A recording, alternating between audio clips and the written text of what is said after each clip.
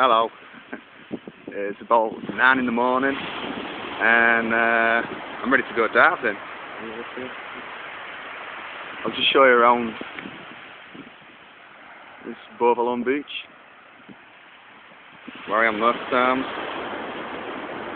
There's the dive centre.